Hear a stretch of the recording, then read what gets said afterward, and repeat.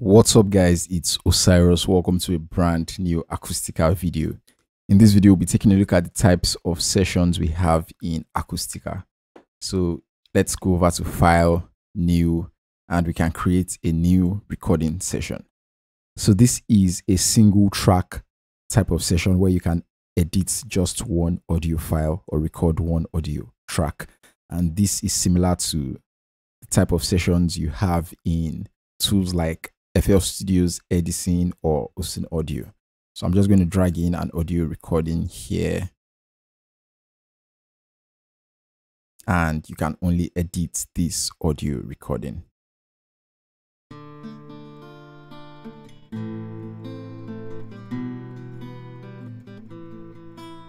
So this is a single track audio session. So it's called the recording session. The other kind of session we have here is a new CD project where you can um, reap information from your CD and work with that. We're not going to be looking at that in this video.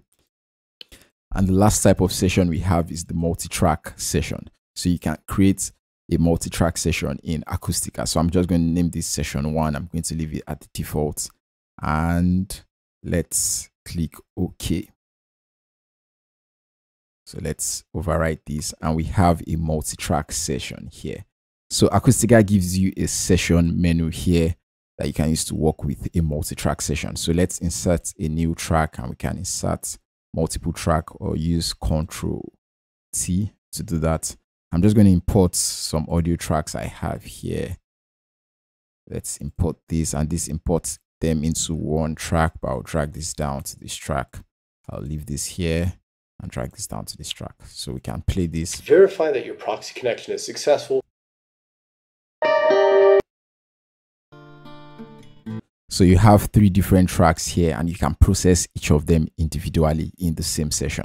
So that's how you work with different types of sessions in Acoustica. You have a recording type of session and you have a multi-track session. So that'll be all for this video. I hope you enjoyed this video and I hope you learned something new from this video. If you did, don't forget to like, comment, share, and subscribe. If you have any questions about this, leave them in the comments below and I'll see you guys in the next video.